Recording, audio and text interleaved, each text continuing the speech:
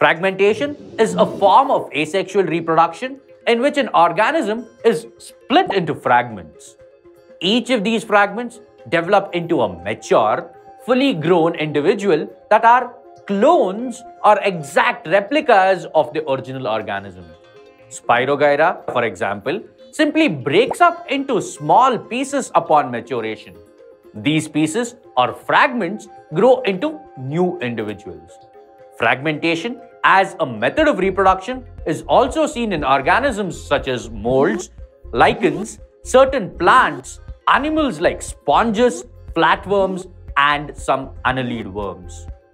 Sometimes, if an organism is somehow cut or broken up into many pieces, many of these pieces have the ability to grow into separate individuals. For example, simple animals like Hydra and Planaria can be cut into any number of pieces and each piece grows into a complete organism and this process is known as regeneration.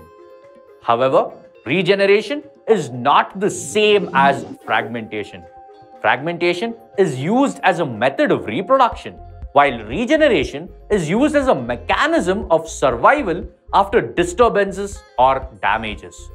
Well, think about it. Organisms would not normally depend on being cut up or shredded into parts to be able to reproduce, will they? A lot of species can regenerate at least a few organs of their bodies in times of need. And even us humans can regenerate our liver. Among the vertebrates, tailed amphibians and certain lizards are highly adapted to regeneration of their limbs, jaws, tails, and even their eyes. Starfishes also have the same ability to regenerate their broken arm. But unlike tailed amphibians and lizards, the lost arm of the starfish could regenerate into a completely new starfish. If you like this video and want to watch many many more amazing videos like these, like and subscribe to our channel now.